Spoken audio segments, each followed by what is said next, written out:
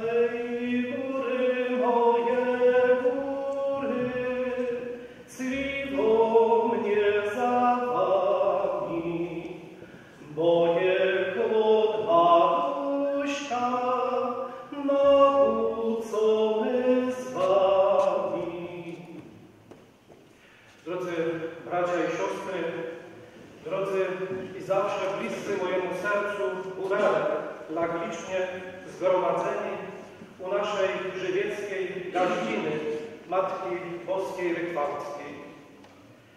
Ten hymn Beskidów, którego fragment przytoczyłem przed chwilą, podobnie jak szumi jawor, szumi czy ojcowski dom, przywołują moje najpiękniejsze wspomnienia rodzinnego domu, moje ukochane góry, Halę Lipowską, Boraczą, Rysiankę, Malkę, otaczającą, otaczające moją rodzinną wioskę Żabnicę, w której się urodziłem, wychowałem i wyniosłem z niej to, co myślę najpiękniejszego.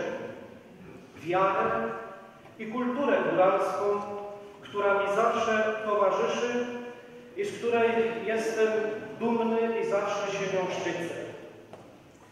Z okna mojego pokoju, kiedy przyjeżdżam na wakacje, widzę Baranią Górę.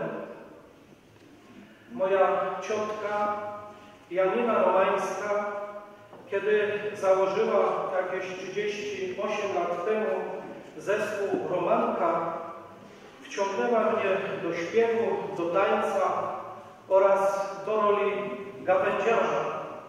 Dzisiaj te tradycje kontynuuje mały Haśnik, który co roku kolęduje w Panewnickiej Bazylice, a jako też kapela tego zespołu za tydzień będzie grała bal karnawałowy dla naszych parafian tam na Śląsku.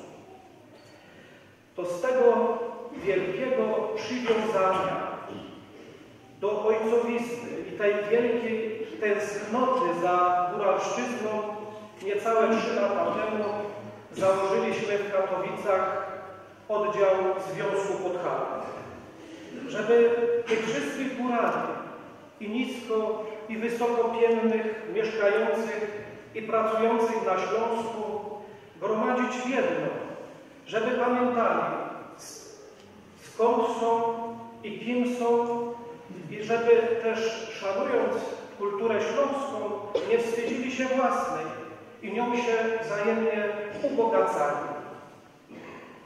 Przy każdej uroczystości, siostry i bracia, trzeba pokazywać nasz strój i muzykę i możemy być dumni z jej oryginalności, bo nas, górali, gdziekolwiek Boża opatrzność pośle, no bo niestety i czasem góry opuścić trzeba dla chleba, Panie, dla chleba, to to, co nas łączy najbardziej, to wiara, to góralska muzyka i góralskie granie.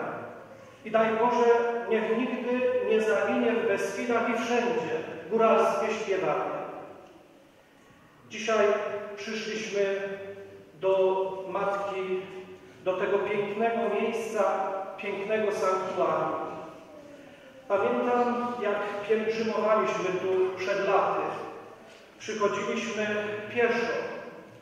Dziś też staram się co jakiś czas przywozić tu moich parafian, bo przecież tu człowiek czuje się jak w domu, tak jak u mamy, a u mamy zawsze jest najlepiej. Dlatego często tu przybywajcie. Opowiadały siostry matki Teresy z Kalkuty, jak kiedyś przygarnęły z ulicy zaniedbanego, brudnego, w poniszczonym ubraniu chłopca.